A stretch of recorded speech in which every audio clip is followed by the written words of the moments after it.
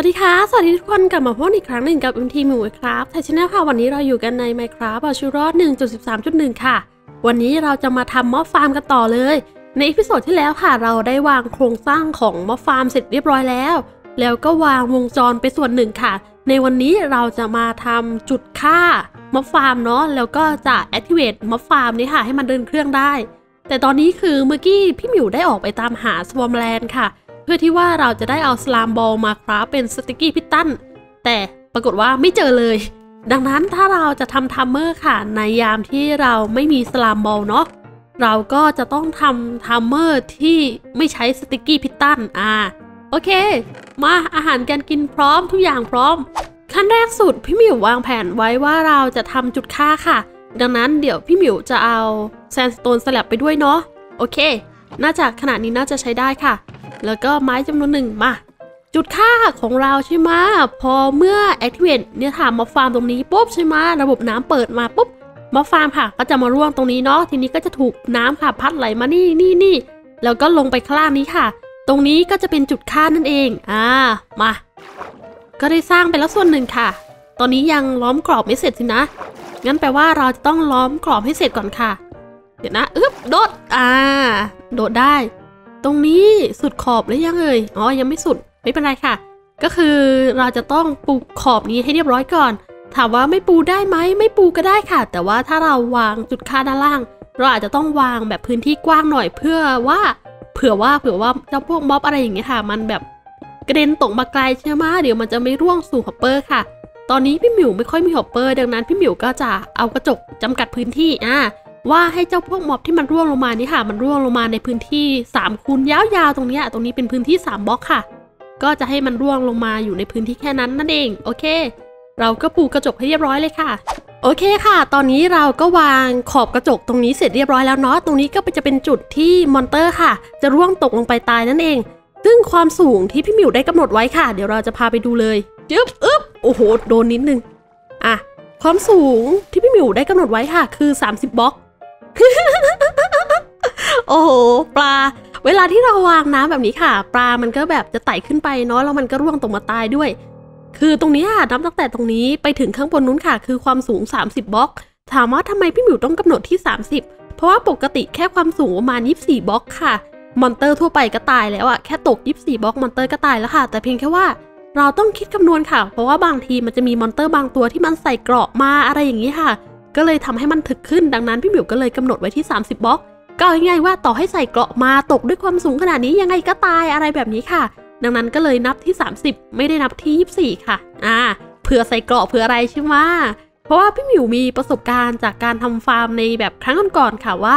ถ้าเราไม่ได้เผื่อเจ้า monster ที่ใส่เกราะไว้อะ monster ที่ใส่เกราะค่ะมันตกลงมามันก็จะแตกกันอยู่อย่างนั้นแหละ ก็คือเขาไม่ตายนั่นเอง ดังนั้นพี่หมิวก็เลยกำหนดไว้ว่าสัก 30บล็อก ร่วงลงมายังไงก็ตายแน่ๆ อะไรแบบนี้ค่ะ เราต้องคิดคำนวณค่ะ ว่าบางทีของที่ได้จาก mob farm มันได้มาแบบเยอะมากๆใช่ไหมดังนั้นก็อาจจะเป็นไปได้ค่ะ ที่ hopper มันจะดูดไม่ทัน พี่หมิวก็เลยจะวางแบบแผนไว้ว่า ให้เจ้า hopper ค่ะ จากตรงเนี้ยหนึ่งสองสามเนี่ยไหลเข้าลังนี้เลย จากนั้นหนึ่งสองสามค่ะไหลเข้าลังนี้ จากนั้นเราค่อยวาง hopper อีกแถวหนึ่งค่ะ ข้างล่างลังแล้วก็ให้ดูดของไปเก็บ เพราะอย่างน้อยค่ะ item ก็จะได้เข้ามาพักในลังก่อนนั่นเองอะคือพี่หมิวมีประสบการณ์จากการทำ mob farm ในครั้งก่อนๆค่ะว่า ถ้าเรารวม hopper ให้ไหลไปทางเดียวหรือว่าแค่ 2 ทางค่ะ item มันจะดูดไม่ทัน เพราะว่า item ที่ได้จาก mob farm มันเยอะมาก แล้วมันก็มีหลายชนิดมากๆค่ะ ดังนั้นก็ให้มันดูดอย่างนี้ไปก่อนน่าจะเป็นอะไรที่ดีกว่า ก็คืออย่างน้อยค่ะ ให้ item แบบเข้าไปพักในลังเนาะจากนั้นค่ะค่อยวางสายอีกสายหนึ่งค่ะ ข้างล่างลังแล้วก็ให้ไหลไปยังจุดเก็บของ ถ้าเป็นแบบนี้น่าจะเป็นอะไรที่ดีกว่านั่นเอง โอเค ถ้าเป็นขนาดนี้ก็น่าจะได้เวลาแล้วแหละ มาขุดค่ะ ดังนั้นค่ะสิ่งที่เราต้องวางต่อไปก็คือ hopper เราก็กด shift ค่ะ แล้วก็วาง hopper ตรงนี้ได้เลยอ่าก็คือ hopper สามตัวนี้ก็จะไหลเข้าหาลังค่ะสามตัวนี้ก็จะไหลเข้าหาลังอ่าเราต้องวางอย่างนี้ค่ะ แน่นอนว่าต้องใช้ hopper จำนวนมาก พี่หมิวจำได้นะว่าเราก็เตรียม hopper มาเยอะอยู่ค่ะ แต่ว่า จำไม่ได้ว่าเอาไปไว้ที่ไหนทำไมเราถึงมีแค่ 30 อันนะเราน่าจะมี hopper เยอะกว่านี้ใช่ไหมอ่า เดี๋ยวเราจะลองไปหาดูค่ะ เพราะว่าเราต้องใช้ hopper จำนวนมากเลยตรงนี้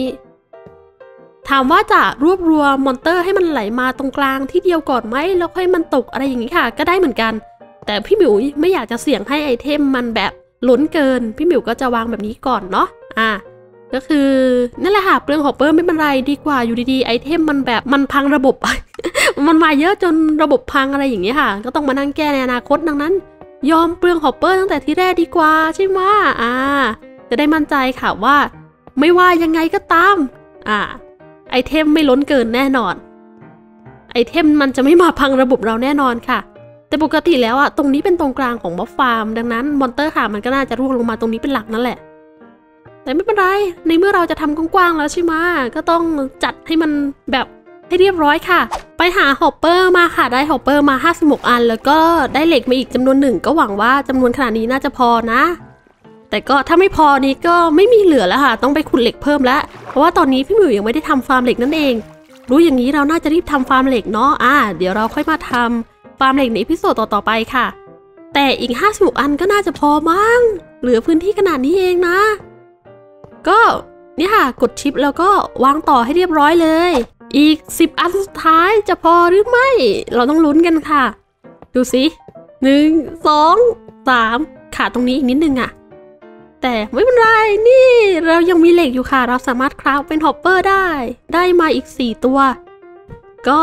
เหลือสุดขอบนี้ใช่ไหมอ่า ตรงนี้เป็นน้ำแฮะฮึบ เดี๋ยวนะ วางไม่ถูกวาง อ๋อ ข้างบนนั้นวางสูงเกินไปฮึบโอเค ขึ้นมาแล้วค่ะ ไหนเอ่ย เดี๋ยวนะ ตรงนี้เอาออกหน่อยค่ะ ต้องวางอีกสี่ตัวหกตัวสินะ อ่า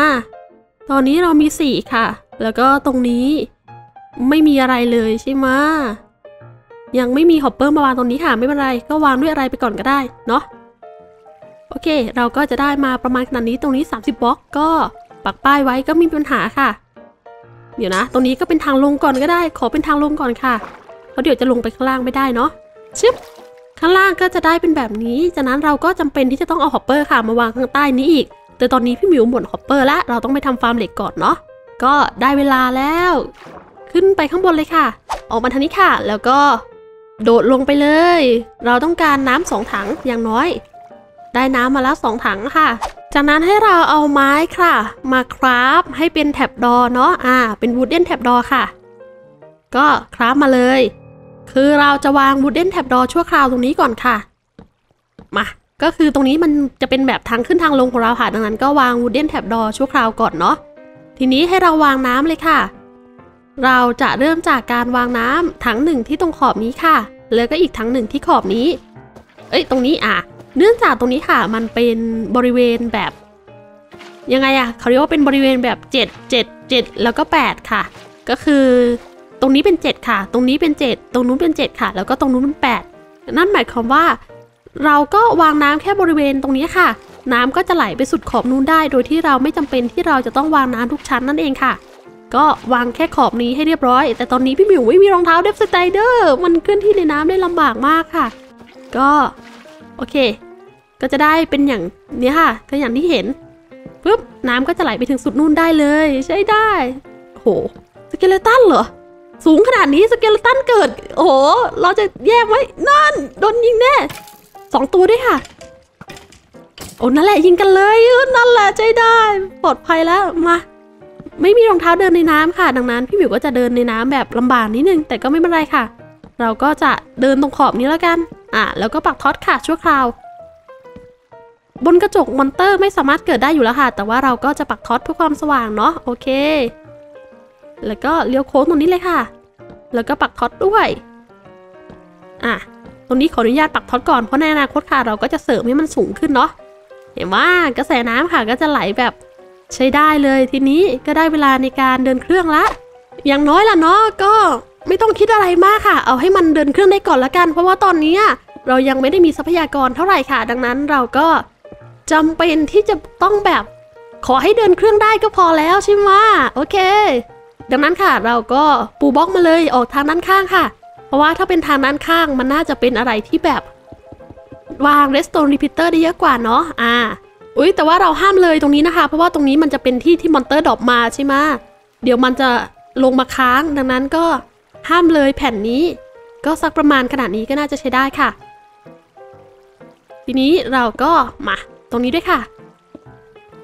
โอเค ก็จะมีพื้นที่ประมาณขนาดนี้ค่ะ ก็น่าจะใช้ได้แล้ว ให้เราต่อบล็อกมาฝั่งทางนี้ด้วยค่ะ แต่ว่าห้ามเลยมุมนี้เนาะ ห้ามเลยแผ่นค่ะ ก็ประมาณขนาดนี้ก็กำลังใช้ได้เลยจากนั้นให้เราวาง redstone repeater ค่ะ อะ วาง redstone repeater มาแบบนี้เลย แล้วก็แบบนี้เลยค่ะ คือถ้าพี่หมิวจินตนาการถูกมันต้องใช้ได้ อ่าแต่ถ้าจินตนาการไม่ถูกมันก็มันก็จะใช้ไม่ได้ค่ะ มา เดี๋ยวเราจะลองดูว่ามันจะใช้ได้ไหม คือถ้าจินตนาการถูกมันต้องใช้ได้ใช่ไหมรูปแบบนี้ค่ะ ทีนี้ให้เราวาง redstone ค่ะ อ่า ตรงบริเวณมุมสุดเนาะชึบจากนั้นค่ะ ปรับ redstone repeater ค่ะ ทุกอันให้กลายเป็นขั้นสูงสุด อ่า นี่คือแบบไม่ใช่ hopper แต่ใช้ redstone repeater จำนวนมากแต่ redstone repeater จำนวนมากขนาดนี้ค่ะ มันก็ไม่แพงหรอกเพราะว่ามันไม่ต้องใช้เหล็กอะไรในการ craft มันใช้แค่ redstone ซึ่งเรามี redstone เยอะมากอยู่แล้ว อันที่จริงพี่หมิวก็อยากจะ วาง timer อีกแบบนะ แต่อย่างที่บอกค่ะ พี่หมิวไม่มี slimeball เพราะว่าพี่หมิวไม่เจอ swampland แล้วพี่หมิวก็แทบไม่เจอ slime เลยค่ะ อ่าดังนั้นก็แบบใช้ไม่ได้เราก็ต้องมาทำแบบนี้แทน ทีนี้ก็มาชึบชึบชึบทีนี้ก็เริ่มเลยค่ะ อย่างแรกสุดปัก redstone torch แล้วก็เอา redstone torch ออกค่ะ แล้วก็ดูรีเลย์นะกลับมุมเมื่อไหร่ค่ะ พี่หมิวก็จะวาง redstone torch อีกรอบหนึ่ง โอเคถึงละอีกรอบหนึ่งค่ะ อ่า มันจะสวนกันตรงกลางพอดีก็คือตรงตำแหน่งนั้นพอดีค่ะ นี่ได้ได้พอเจ้ากระแสไฟตัวแรกค่ะเลี้ยวโค้งใช่ไหมกระแสไฟตัวนี้ค่ะ ก็จะเลี้ยวโค้งตรงนู้นพอดี นั่นอะเห็นว่า ก็คือตัวที่หนึ่งค่ะ โค้งตรงนี้ ตัวที่สองก็จะโค้งตรงนั้นค่ะพอตัวที่หนึ่งมาโค้งตรงนี้ ตัวที่สองก็จะโค้งตรงนั้นพอดีค่ะ ดูสิอะลองดูค่ะ ช่วงเวลานี้จะเป็นช่วงเวลาที่มอนเตอร์สามารถเกิดมาได้ จากนั้นกระแสน้ำก็จะปล่อยค่ะ ทีนี้เราก็ต้องรอระยะเวลาอีกนิดนึง กระแสน้ำก็จะปิดมอนเตอร์ที่อยู่ตรงนี้ค่ะ ก็จะถูกน้ำพัดพาไปพอดี โอ้timer ขนาดนี้พอดีแล้ว ง่าย ๆ เลยนะเนี่ยคือแบบ แต่เสียงที่เราได้ยินซ้อนกันไม่ใช่อะไรค่ะ ก็คือเป็นเสียง dispenser หลายตัวนั่นเอง อ่า โอเคค่ะ ตอนนี้พี่หมิวก็ปูหลังคาเสร็จเป็นที่เรียบร้อยแล้วเนาะ ทีนี้ก็ได้เวลามาตรวจสอบแล้วค่ะว่า แสงสว่างบริเวณนี้เป็นยังไงบ้าง เราก็เข้ามาเนาะแล้วก็ปิดให้เรียบร้อยก่อนค่ะ อะ ปิดให้เรียบร้อย จากนั้นกด F3 ค่ะ แล้วก็เอาท็อตออกปุ๊บ อ่า ตอนนี้ค่ะ light เป็นศูนย์หนึ่งสองสามสี่ห้ามเกินเจ็ดนะตัวเองนะ โอเค ตรงนี้เป็นเจ็ดค่ะ ตรงนี้เป็นหกอ่า ก็คือเราต้องเช็คบริเวณขอบมุมนี้ค่ะว่า มันมี light เท่าไหร่ แต่ปกติตรงนี้ค่ะ จะเป็น light ตัวที่บอกเลย ตรงนี้แค่เจ็ดเหรอ โอเค ถ้าแค่เจ็ดก็ไม่มีปัญหาค่ะ ถ้าแค่เจ็ดนี้มอนเตอร์สามารถเกิดได้แบบสบายๆอะค่ะ เพราะว่าปกติกฎการเกิดของมอนเตอร์ค่ะ คือมีแสงสว่างเท่ากับ 7 หรือว่าน้อยกว่า 7 นั่นเอง ก็เห็นไหมอะก็ได้สบายๆโอเค แต่ปกติค่ะพี่มิวจะเล็งไว้ให้ light มันอยู่แค่ประมาณสักสี่อะไรอย่างเงี้ย ตอนนี้ค่ะ light สูงสุดในบริเวณแผ่นนี้มันคือ 7 ใช่ไหมซึ่งมันคือแบบเป๊ะเกินไปค่ะ ในอนาคตเราน่าจะต้องมาปูหลังคาเพิ่มหน่อย แบบว่าให้ light มันเหลือสัก 5 อะไรอย่างเงี้ยค่ะ เพราะว่า 7 มันแบบมันก็คือเป๊ะตรงแบบไลท์ที่ม็อบสามารถเกิดได้พอดีเกินไปค่ะ ก็ควรที่จะทำให้ไลท์มันแบบน้อยกว่านี้หน่อยอ่าแต่ไม่เป็นไรค่ะ ขนาดนี้ก็ถือว่าใช้ได้แล้ว เดี๋ยวนะตัวเอง โอเค นี่ ปิดให้เรียบร้อย โอเค งั้นก็แปลว่าใช้ได้แล้วสินะ ใช้ได้แล้วค่ะ แต่เฮ้ยเฮ้ยเฮ้ยเฮ้ยขึ้นไม่ได้ อะ มาตรงนี้สิ ตรงนี้เรียบร้อยแล้วสินะ แต่ว่าเราเผลอเอาบันไดออกไปหนึ่งตัว ก็ไม่เป็นไรค่ะ ก็มาเลย แล้วก็ปิดไว้ให้เรียบร้อยก่อน อ่าปิดไว้ชั่วคราวค่ะ แล้วก็ลงมาเลยค่ะ เห็นไหมเราเริ่มได้ยินเสียงละ เสียงแบบทั้ง spider ทั้ง creeper ทั้งอะไรแบบเยอะแยะเลยค่ะ เสียงแบบเริ่มมาให้เราเห็นแล้วสินะ ความอันตรายแบบนี้ ดูดิ ยังไม่ได้เดินเครื่องเลยค่ะ มันก็มาแบบเพียบล้วแต่ก็คือนั่นแหละพี่หมิวยังเดินเครื่องไม่ได้ค่ะ พี่หมิวจะต้องแบบเอานี้ออกก่อนน่ะ อะซึ่งพี่หมิวกำลังคิดอยู่ค่ะว่าประตูนี้เราจะแก้ไขไหมโอเค ไม่แก้ไขประตูก็ได้ เดี๋ยวค่อยไปแก้ค่ะ ก็เอานี้ออกเลยค่ะ โอเค เมื่อเราออกได้ประมาณนี้แล้วใช่ไหมก็ เดี๋ยวนะ ขอวางทางเดินนิดนึงค่ะ โอเค วางตรงนี้เป็นแบบนี้ปุ๊บอ่าจากนั้นตรงนี้ค่ะก็จะเป็นทางขึ้นไปด้านบนนั่นเองก็ใช้ได้ ส่วนแสงสว่างตรงนี้ค่ะ ก็ไม่มีปัญหาหรอก แต่ว่าเดี๋ยวก็จะเอาออกค่ะ ใน redstone torch อ่า redstone torch อืมไม่มีสินะ ยืมแถวนี้ก่อนได้ไหมสักอันหนึ่งยืมก่อนค่ะ มายืม redstone torch สักหนึ่งอันก่อน จะเดินเครื่องแล้วยังแบบไม่มี redstone torch ใช่ไหมก็มาเลยค่ะ ก็อย่างแรกสุด ปักแล้วก็เก็บ redstone torch ค่ะ อ่า พอกระแสไฟค่ะไปสุดขอบนู้นเมื่อไหร่ปุ๊บเราก็ปัก redstone torch อีกอันหนึ่งค่ะอุ้ยเอาใหม่เอาใหม่เอาใหม่อะมาถึงสุดขอบนี้เมื่อไหร่ ก็เดี๋ยวรอมันวนกลับกอีกรอบหนึ่งค่ะ เพราะว่าเมื่อกี้พี่หมิวมองไม่ทันเนาะอะ ดูสิสุดขอบนู้นเมื่อไหร่ค่ะ แบบตัวสุดท้ายเมื่อไหร่ โอเค สุดละปุ๊บอะก็ปักอีกอันหนึ่งค่ะ มันก็จะส่วนกันตรงกลางพอดี จากนั้นเมื่อเจ้ากระแสไฟตัวนี้มาถึงนี้ค่ะ ตัวนั้นก็จะไปถึงขอบแล้วก็เลี้ยวโค้งพอดี โอเค ถ้าอย่างนี้ก็แปลว่าใช้ได้ค่ะ ไม่มีปัญหาอะไรเสร็จเรียบร้อยละตรงนี้เป็นความสูงขนาดนี้เนาะเราต้องปักท็อตแต่พี่หมิวไม่อยากปักท็อตเลย ดังนั้นก็เอาออกค่ะ ในเมื่อไม่อยากปักก็ไม่ต้องปักแค่นั้นเองอ่า โอเค ทีนี้ค่ะ ตอนนี้ dispenser ข้างบนยังไม่ทำงาน เพราะว่าอะไรเอออันนี้เป็น slab ตรงนี้ใช่ไหมพี่มิวอยากได้เป็น slab ด้านล่าง ถ้า slab แบบนี้เดินได้ไหมอ๋อเดินได้ค่ะ ถ้าเป็น slab แบบนี้ก็ไม่ต้องห่วง monster มันไม่สามารถเกิดได้อยู่ละ มาเลย นี่ slab ด้านล่างแบบนี้ได้ได้ค่ะ ทีนี้เราก็จะต้องเอาริสโตนท็อตตัวนี้ไปปักคืนก่อน เอ๊ะโอ้ยโอ้ยอย่านะอย่านะ เออนั่นไง เขายังมองเห็นเราอยู่ค่ะอะขึ้นมาก่อน หลบก่อนหลบก่อน ต้องหลบก่อนนะ เดี๋ยวนะ เอาบันไดออกค่ะ โอเค ปักตรงนี้เรียบร้อย อือหืออย่าพึ่งได้ไหมคนกำลังก่อสร้าง จะมากวนเราทำไม อ่า นี่ โมโหค่ะโมโห โอเค นั่นแหละ แล้วก็ คือพี่หมิวจะต้องเล็งไว้ค่ะว่าในอนาคตเวลาที่แบบส่วนไหนพังใช่ไหมเราก็จะได้มาแก้ไขได้นั่นเองค่ะ คือถ้าเราไม่เผื่อแบบ ว่ามันผิดมันถูกไว้อะเดี๋ยวในอนาคตเผื่อมีตัวไหนพังค่ะ เราก็จะไม่มีแบบพื้นที่มาแก้ไขเนาะอะอันนี้ก็เผื่อไว้ค่ะ เป็นแบบทางเดิน เพื่อความปลอดภัย เราก็วางแบบนี้เลย โอเค เรียบร้อยใช้ได้ แล้วก็นี้ขุดออกเลยค่ะ อ่า ตรงนี้ก็เป็นทางเดินเนาะ แล้วอันนี้ก็เป็นสลับด้านล่างค่ะ ดังนั้นก็ไม่ต้องห่วง มอนเตอร์ไม่เกิดแน่นอนเฮ้ไปปักตรงไหนแล้วเนี่ยอ๋อปักข้างบนนี้ โอเคสลับด้านล่าง มอนเตอร์ไม่เกิดแน่นอน อ่า แบบนี้ใช้ได้ค่ะ ทีนี้เราก็เอาเจ้าเรสโตนฮอตค่ะ มาปักเลย โอเค ทีนี้กระแสไฟก็จะเดินได้แล้วแหละ มา โอเค มาแล้วค่ะ เราจะยืนดูไหม แต่อันตรายอะแบบนี้เจ็บ ยืนดูไม่ได้ค่ะ แบบนี้เจ็บ โอ้โหโอ้โหสุดยอด สุดยอด เดี๋ยวนะเต็งบึ้มได้ยังไงตัวเอง คือเราอยู่ใกล้เกินไปค่ะ มันก็เลยแบบบึ้มได้เนาะ อ่ามันระเบิดเพราะเราอยู่ใกล้เกินไปค่ะ เป็นไง เป็นมอบฟาร์มที่พี่พี่หมิวอยากจะชิ่งหนีแล้วค่ะ ตอนนี้พี่หมิวจะไม่อยู่นี่ละ อยู่นี่ พื้นพื้นพังเปล่าๆ โอเค เดี๋ยวเราเอ้ยเอ้ยเอ้ยเอ้ยเอ้ยเอ้ยเอ้ยเอ้ยเอ้ยเอ้ยเอ้ยเกือบไปแล้ว เกือบตกค่ะ มา โอเค ได้เวลาหาทางลงแล้วแหละ เมื่อกี้ creeper ระเบิดค่ะ เพราะว่าเราอยู่ต่ำเกินไป โดดได้ไหมโดดบูมโอ้มามามาโอเค ไม่มีทางลงที่ดีกว่านี้แล้วเหรอพี่มิวไม่มีอะเนี่ย ดีที่สุดแล้วไอ้ทางลงแบบเนี้ยเนี่ยดีที่สุดแล้วมา โอเค ปักท็อตนิดนึงค่ะ เอาเรือเก็บก่อนเพราะบางทีค่ะ ถ้าเราตกลงมาแล้วเรากระแทกเรือนี้แบบ เราตายนะ มันไม่ต่างกับการกระแทกบล็อกเลยค่ะ ตายแน่นอนจึ๊บจะขึ้นไปข้างบนก่อนเนาะเพราะว่าจะแก้ไขตรงนู้นค่ะ ให้มันเป็นไอ้นั่นก่อน แก้ไขให้เป็น packed ice ค่ะ ตรงนี้น่าจะแก้ไขได้ค่ะ มันไม่น่าจะมี monster อยู่หรอกมั้งแต่ไม่ต้องห่วงค่ะ เพราะว่า creeper มันยังลอยน้ำอยู่เนาะอ่า มันไม่ได้จมน้ำค่ะ แต่ monster ตัวอื่นอะน่าห่วงมากกว่าเยอะ โอเค ก็รีบขุดออกค่ะแล้วรีบวาง ก็ใช้ได้ละ ทีนี้ตรงนี้ก็ เอ อันนี้ไม่มีอะไรเนาะ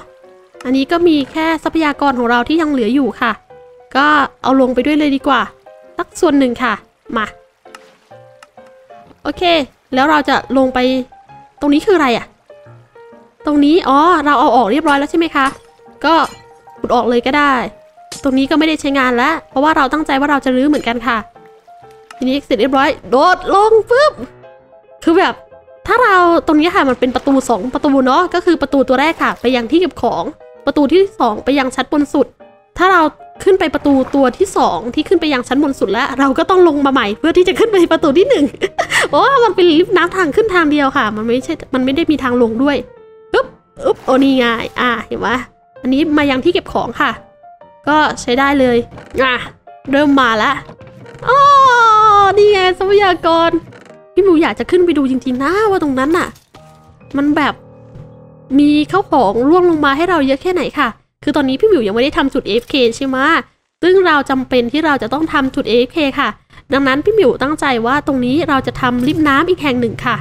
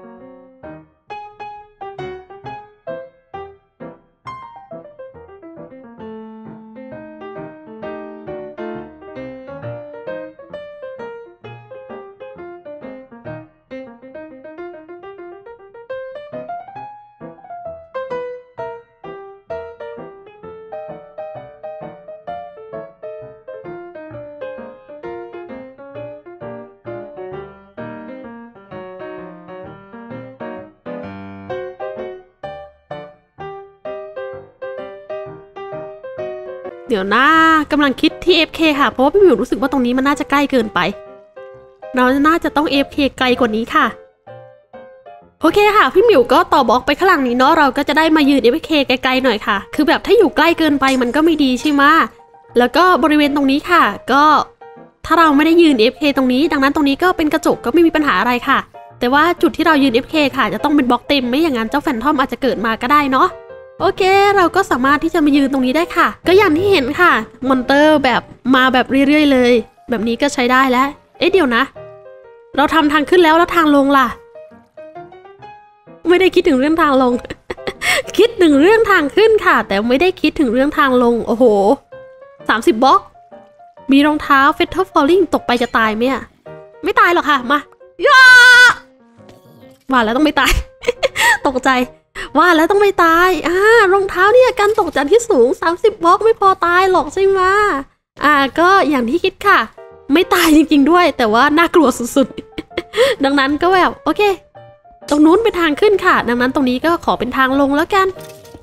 อะจะได้แบบปลอดภัยนิดนึงค่ะ เราก็จะวางน้ำตรงนี้เนาะ เดี๋ยวเดี๋ยวเดี๋ยวเดี๋ยวเดี๋ยวเดี๋ยวเราก็จะวางน้ำตรงนี้เลยค่ะ อ่า แล้วเราก็จะต่อบล็อกขึ้นไปถึงด้านบนเลยค่ะ เมื่อเราโดดลงไปข้างล่างก็จะมีน้ำรองรับอ่าตรงนี้ก็จะเป็นทางขึ้น โอ้ทางขึ้นทางลงอยู่ใกล้ๆกันเลยค่ะ โอเคค่ะสำหรับ episode นี้ก็น่าจะเพียงพอเท่านี้ค่ะลากันไปก่อนแล้วพบกันใหม่บ๊ายบายค่ะ